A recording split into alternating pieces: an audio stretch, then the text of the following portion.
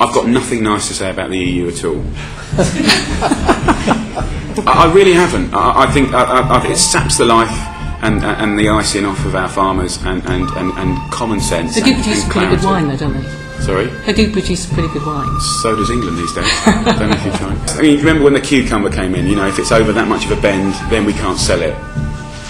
How dare they? How dare they? There's, there's, there's a home for that. You know what I mean? And I'd like to, s- I'd like to see the bendy ones in their own box. But EU commissioners are meeting in a week's time to actually look at this again. So what's your message to them? I just have no faith that anything good will come out of it. It will take ages, it will be disappointing, and it will be unclear, and there will be loopholes. I wish it, would- I, ne- I wish it never existed. And labelling is a perfect example. Great Britain cannot choose what its minimum standards for labelling and clarity is because it has to go through EU. And the EU has got a lot more to worry about than just Great Britain. And frankly, I only care about Great Britain. I can take you to a supermarket now and it will say sourced in the UK and on the back it will say from Denmark. How dare they? You know. Uh, and, you know, um, it's a big old subject.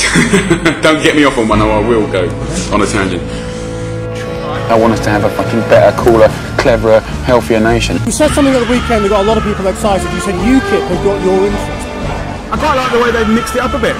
Look, I'm not an expert in politics. I only know cooking and a bit of school lunches. Because I've never voted. I've stayed apolitical because I've always wanted to talk in the eye, you know, to whoever I'm talking to.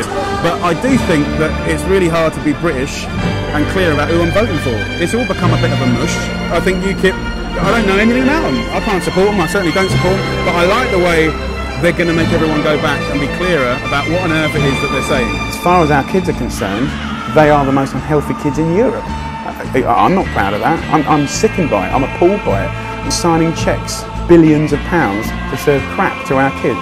If you can't look after our kids, and this is what I'd say to President Bush, where I'm here in New York now, you know, if you can't look after your kids when you know that they're the most unhealthy kids in the world, or in England's case, Europe, you know, again, England and America are side by side, not in war, but in having the most unhealthy kids. If you can't look after our kids, do me a favour, piss off and go and run another country.